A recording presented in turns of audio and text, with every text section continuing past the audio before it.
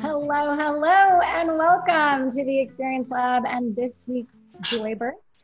I'm Sonia Rhodes, founder and CEO, and I'm joined here by our amazing team of Experience Catalysts to share our positive energy and gratitude for all that you and your teams are doing and to provide just a brief respite in these busy and challenging days.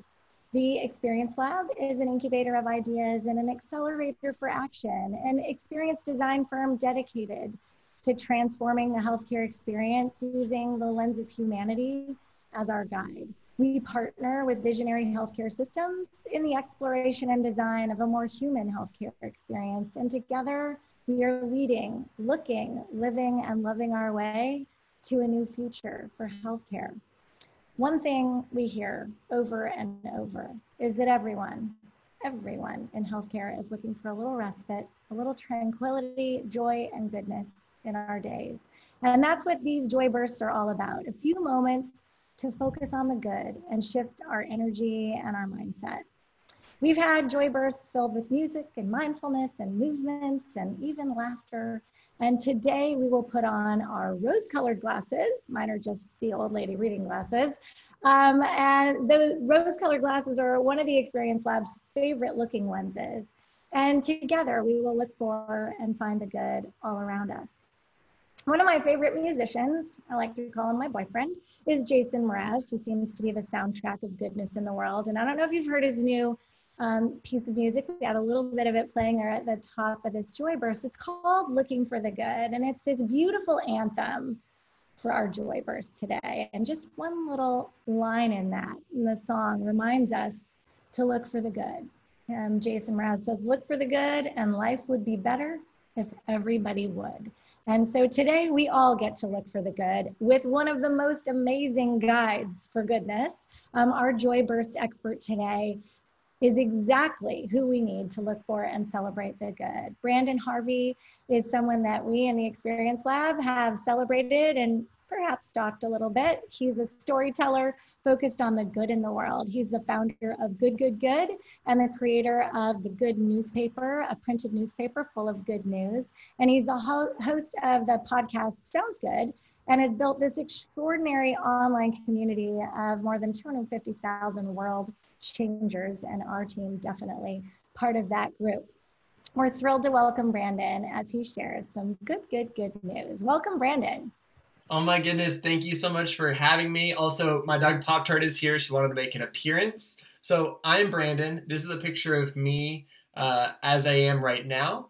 Uh, and then here's a picture of me uh, with back when I had hair. So, I used to have this ridiculous hair. This is a picture of me in Peru. And uh, my old job was as a humanitarian photographer. I got to spend years traveling around the world helping nonprofits tell stories of the amazing solutions they were creating to problems. And I would always leave these trips feeling so hopeful, so energized by the stories of impact that uh, that, that these communities were having, and just the stories of people working together to um, make a difference in the lives of their neighbors, their communities. But I'd come home, I'd turn on the news, and I would see a heartbreaking news story that acknowledged the very real problem that I had just experienced, but didn't go far enough into saying, and here's the solution, here's the good news. The stories were getting cut off. And so uh, I knew that I had to figure out a way to help people see these solutions that I was getting to see. And so the first thing I did was I started to kind of look into some of the neuroscience uh, on why bad news seems to just stick around a lot better. And this amazing uh, neuropsychologist, Dr. Rick Hanson, he talks about this idea that our brains have an internal negativity bias, and bad news sticks to our brains like Velcro, and good news slides right off our brains like Teflon. I was like, well, we got to figure out how to trick our brains into overcoming this. And so, uh, you know, knowing nothing except for the world of art and the world of storytelling, I was like, what's the weirdest way that I could possibly tell these stories in a way that would maybe, you know, grab a little bit more attention, be a little bit more like Velcro for good news? And so I'm like, well, you know, it's the year 2017. Uh, why not create a good newspaper you know in a, in a digital era where everybody's doing digital stuff? Let's go old school. And so we you know we we we call a bunch of you know 70 year olds who are working printing presses around the country. We we learn how to make a print newspaper. We launched it on kickstarter and uh, and the good newspaper is born. And uh, we've since since reached hundreds of thousands of people with good news. And, and more than just making people feel good, we helped people. Our, our goal has always been to catalyze people to take action. And it's been beautiful getting to see that happen. And so in the last three years, we've we've seen every single good news story under the sun and uh, seen people respond to every single bad news story that we've all encountered. And there's this quote. Well, actually, first, let me just say that there's good in the world. There's a lot of it, and all we have to do is take a moment to celebrate it, absorb it, and share it. And so uh, there's this quote that's kind of the core of everything we do. It's from Mr. Rogers. I'm sure you've heard it. He said, When I was a boy and I would see scary things in the news, my mother would say to me, Look for the helpers. You will always find people who are helping. And so, first and foremost, I just want to say to everybody who's tuning in right now you are the helpers that we're talking about. We're all at home, we're watching the news, and when we look closely, it's so easy to see you as a helper. And so, thank you. Thank you, thank you, thank you. We've been just celebrating your work for months now. We're just so grateful. Um, I also imagine that maybe it feels like the weight of the world is on your shoulders right now. Maybe things maybe feel a little bit overwhelming, like the whole system relies on you. The only good that can happen is from you and your colleagues. And and again, I'm I'm so grateful for your work, but I, I want to offer today as an encouragement that there is so much good in the world, and and and as you're showing up and doing important, beautiful work, there are others who are responding in their own ways, and they have been. And and so today, I, what I want to do is I want to celebrate some good news. We're going to roll through just 25 of the best good news stories we've been seeing from around the world right now. People creating solutions. We call it real good news, not just feel good news, because it's just, it's not just stuff that makes you happy, but it's stuff that makes you hopeful. It's people responding to real problems.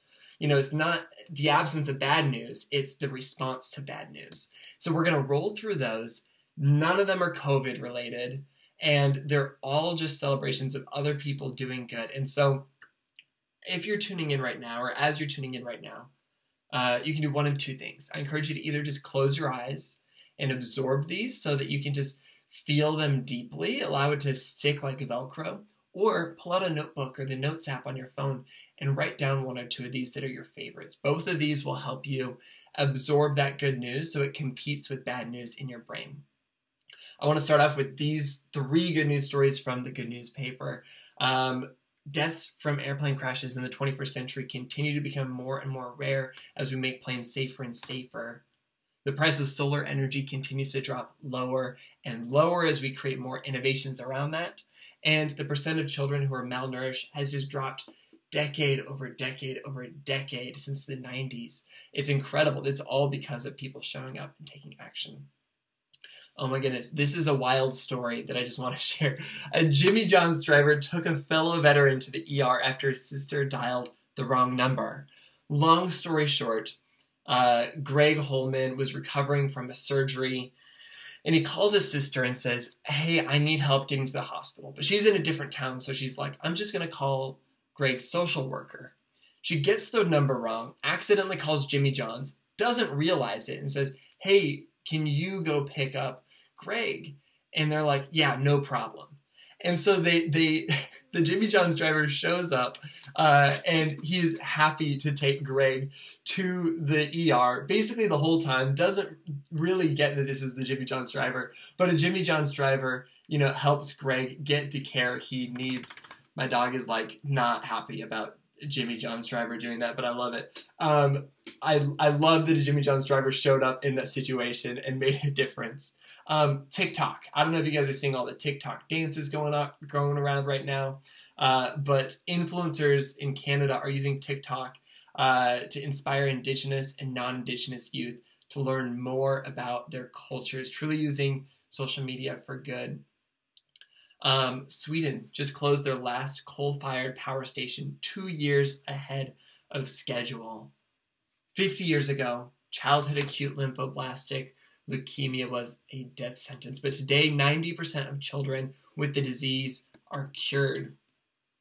So I don't know if you know this or not, but when George Washington chose to build his Mount Vernon estate along the Potomac River, he declared the then pristine body of water the nation's river. And at the time, dolphins would show up. There were bald eagles everywhere. Um, and unfortunately, in the years since, it became too polluted and the dolphins left.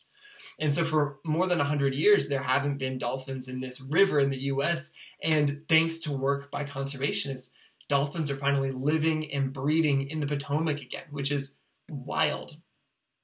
I don't know if you've been watching the Netflix series Tiger King, but 39 tigers have been rescued uh, and they're now living in a Colorado animal sanctuary in safety and peace. Uh, this is beautiful. I love this man right here. This is a man named Kevin Briggs. Uh, this is also from the Good Newspaper, and uh, they call him the guardian of the Golden Gate Bridge because for more than 23 years he worked as a California Highway Patrol officer. And when he would see somebody who was considering taking their lives, he would he would walk up to them. He'd still stand back and he'd introduce himself and he'd say, "Hi, I'm Kevin. I'm with the Highway Patrol. Is it all right if I come up and speak with you for a bit?" He would get their permission and he'd empower them. And in the course of his career, he talked more than 200 people standing on the edge of the bridge. And he's since retired and he now works full time in suicide prevention. What a hero. Uh, scientists just found a bug that feasts on toxic plastic. It's going to be beautiful to imagine the amazing solutions we can create with that now that we've discovered this. You may have seen the news story of the teacher who disarmed and then hugged a student who brought a gun to school and, and, and safely, you know, uh, supported him during a really difficult crisis. Uh, he's going to receive the Citizen Congressional Medal of Honor, which is beautiful. Koalas from uh, Australia's bushfires, who you may have seen heartbreaking photos of them being impacted by the fires. They're, they've been healed, rescued. They are finally getting released back into the wild. Um, this is a beautiful photo. If you're closing your eyes, maybe check it out really quick. This comfort dog uh, was sworn in uh, to help victims of sexual assault and violence, literally putting his paw on a Bible, uh, or maybe it's a dog training manual. Who knows? Um, and I just love that that visual, and I think it's so sweet. YouTubers in Silicon Valley rallied together over the last few months to raise $20 million to plant 20 million trees. The sound, this is a sound shirt that lets deaf people feel music using haptic sensors. Um, this green cement company says its product, product can cut carbon dioxide emissions by 70%. This mom has created these beautiful signs that say, Don't give up, you are enough. You are not alone for people to put up in their yards as and she's selling them at cost to create um, more hopeful neighborhoods. Um, this new organization is set out to be the Teach for America for Journalism and has already placed 225 journalists with 160 local news organizations around the country to help them better cover important stories impacting their communities. These two countries in Africa have put an end to two decades of conflict. They signed a peace agreement this year, last year, I think, technically. Uh, and, and, and it's beautiful to see these two countries who are at war for so long ending their war and embracing each other in a hug. The CDC says that teen drinking just reached the lowest point in 25 years. The veteran homelessness rate has decreased by nearly 50% since 2009, thanks to all these incredible efforts being made. this is incredible. Over a million gardeners have banded together over the internet to create a global network of greenery that supports and nourishes bees and butterflies, which is beautiful and something that's even able to continue during stay at home orders. Um, and then lastly, I love this story. A North Dakota brewery they didn't really know what to put on their cans. They didn't necessarily have like a, a, graphic designer. And so they're like, well, let's make every single one of our cans just have a photo of a dog up for adoption. And since then, uh, all, you know, so many dogs have been adopted, even more so in the last month, which is really, really beautiful. And so, I, what I want to do is I want to give you just a little bit of homework really quick. And my hope is it's not homework you dread, it's homework you're excited about. Um, today, on your next break, when you're reaching for your phone, I want you to think back to just one of these good news stories, just one. And before you, you know, check your notifications, take your little break, um, take 15 seconds to close your eyes and think about one of these stories. Think about the creativity of the person who created that solution. Think about the impact it's going to have on people and animals and communities. Think about how it made you feel. At the end of that 15 seconds, you are going to feel more hopeful. The the the way that the Velcro and the Teflon situation works will be kind of overridden and it's it's going to hopefully leave you feeling more hopeful throughout the day. And then if you want extra credit, if you want a little bonus assignment, all you have to do is tell a friend. Tell a friend one of these good news stories. Share it with a colleague because when you teach something, it allows you to absorb it on a deeper level. And together we can feel more hopeful and be reminded that no matter what's happening in the world, there are people stepping up to create solutions. They're joining you in the good work that we're that you're doing, and we're all so grateful for the impact you're having.